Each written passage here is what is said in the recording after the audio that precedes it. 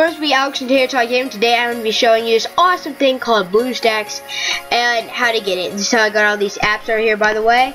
But uh, either way, let's get to the point. Uh, it to open up your search engine. Uh, I'm using uh, Internet Explorer in this, but uh, you know, uh, Google Chrome. I have too many uh, things running in the background. But after you get your search engine started up, um, wait, it's gonna be a little slow. Sorry. Oh. But I would rather two Googles. But uh, either way, uh, no, Samuel. But uh, yeah, you should have to type in something called BlueStacks. B L U E S T A C K S.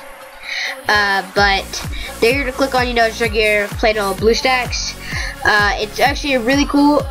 It's still in uh, beta, but uh, the front page seems self-explanatory. You can download for you know all those different types of awesome things.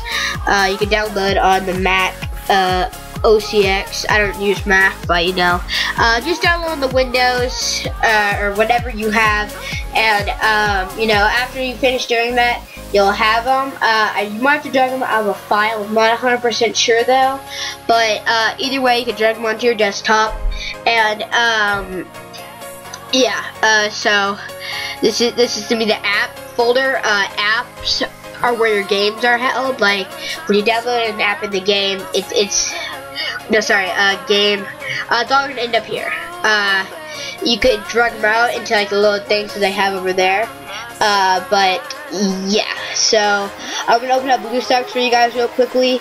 Um, yeah, it does take a little while, even if you have a fast computer. So then again, takes a little while. Uh, but it loads. It's as I said, it's still in beta, but it has these awesome apps. Has almost all the apps. Like a Google Play Store. Uh, still has Flappy Bird too, uh, and I, I really like it personally.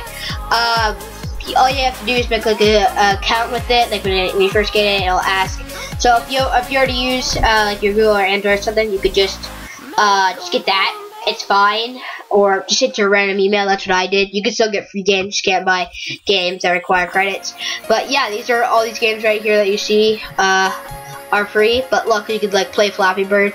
I'm just giving you guys a quick example of it, so obviously I'm not going to, uh, do too much with it.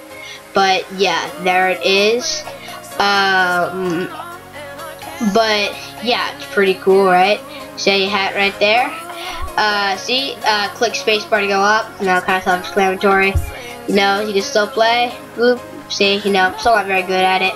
But that's, that's gonna probably wrap up our video. Um, yeah, that's pretty much gonna be it. Uh, don't forget to uh, like, comment, and subscribe to. I'm going to use this extremely crummy thing I used to record this, and I'm going to draw thumbs up all over my uh, computer. It'd be uh, very appreciated if you could just take two seconds and go back down to subscribe button, hit it, and uh, maybe find a video like every once in a while. But that should be all. Uh, I hope you guys enjoyed this tutorial and found it useful. I got it because I couldn't use the reflector app. But that'll be all. See you guys later. Bye.